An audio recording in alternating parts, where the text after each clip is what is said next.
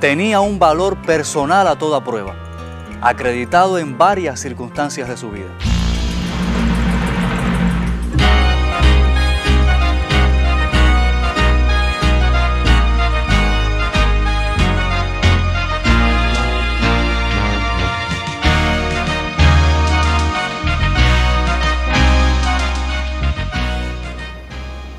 Aunque lejos, no me desprendía de Cuba, de mi Bayamo natal.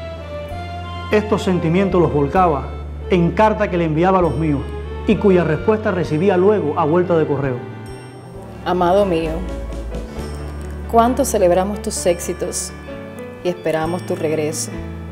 Los días me parecen meses, extrañándote y deseando que vuelvas para que alces en tus brazos a nuestro hijo y veas cuánto ha crecido en tu ausencia. Estamos precisando tu mediación oportuna y estimo tu ya muy alta reconocida condición de abogado. Ojalá muy pronto puedas estar entre nosotros. Hay que recordar que el motivo de la presencia de la estancia de Céspedes en España era cumplir un viejo sueño de la familia y particularmente de, don Jesús, de don Chucho, eh, de Céspedes y Luque, que era que el primogénito se convirtiera en abogado con el objetivo de que una vez de regreso en Cuba defendiera en el foro, en, los juzgados y tribunales, eh, los privilegios y fueros de la familia Céspedes y en general de la clase social a que ellos pertenecían aquí en Bayamo. En esa época escribí un folleto titulado En defensa de Cuba, el que vio la luz en Madrid en 1841. Es muy conocido que durante su estancia en España, Céspedes elaboró un importante documento, el que publicó en Madrid bajo el título En defensa de Cuba. No se ha podido localizar esta importante obra. Hasta ahora lo que se conoce es que se publicó en forma de folleto y que circuló profusamente en esa época.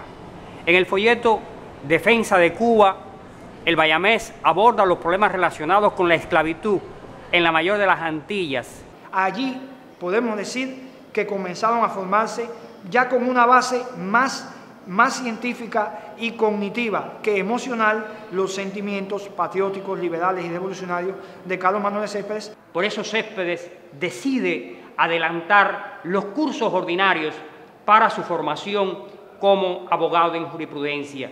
Escogió la manera más rápida de obtener este pergamino y fue la modalidad de realizar estudios generales, de modo que en tres semestres estudió, debatió y aprobó 18 disciplinas del derecho. Fue una verdadera osadía que dejó maravillados a su claustro de profesores. Supimos por carta de Carlos Manuel que el examen fue presidido por el canciller Pablo Pons y Pons, se graduó así de licenciado en jurisprudencia, empleando solamente tres semestres, disminuyendo de este modo el tiempo ordinario de la carrera.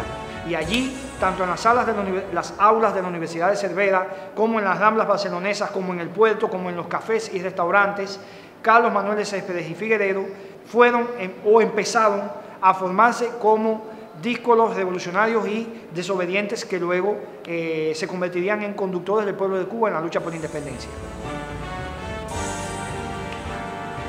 Terminados sus estudios, Carlos Manuel viajó a Madrid, a la Universidad Central, para realizar la reválida de su título y así obtener la condición de abogado de los tribunales del reino.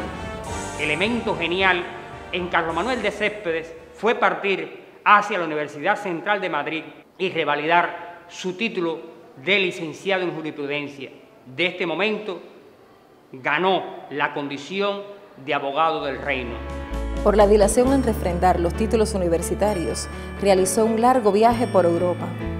Los primeros países que visitó fueron Francia, Inglaterra, Bélgica y Alemania.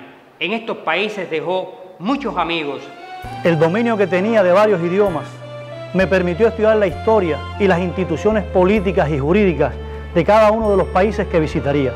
De este periplo importantísimo en su formación desde el punto de vista intelectual, cultural y político, hay que destacar la estancia larguísima que tuvo en Francia. Porque Francia tenía un movimiento literario, artístico muy sólido que tiene que ver con escritores, con pintores, con músicos y con prácticamente todos ellos, Carlos Manuel establece relaciones. El Sena, los bulevares, todo me embriagaba. La belleza de la mujer francesa no me fue ajena. Tuvo la oportunidad de relacionarse con un gran número de las más importantes figuras de los personajes más destacados de la cultura y la política local francesa de la época. Estamos hablando, por ejemplo, de eh, el excelso escritor ah, Víctor Hugo. Nos referimos a Honorato de Balzac, personajes como podrían ser Domingo del Monte o eh, la Condesa de Merlín.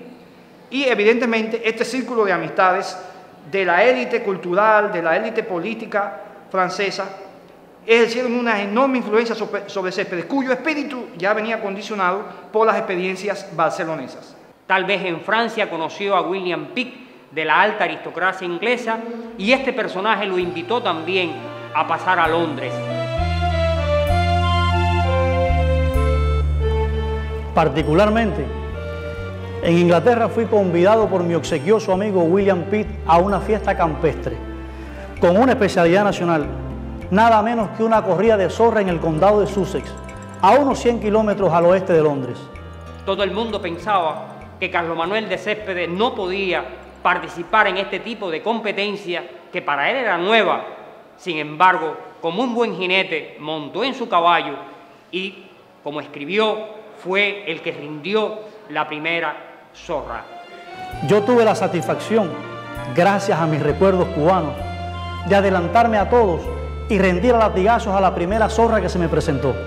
Esto le granjeó la amistad de otros muchos ingleses y al día siguiente de esta cacería de zorra decidió visitar también el escenario de la batalla de Einstein. Entre el rey Haroldo y Guillermo de Normandía, lugar que visité y quedé impregnado llevándome a escribir La Abadía de Batle. En esa crónica de la visita a este escenario, Céspedes reflejó lo que le va a ocurrir en toda Europa a partir de ese momento. Mi destino quedó claramente fijado al darme cuenta que toda mi pasión debía enfilarla en el vientre de mi patria amada, presa del yugo colonial.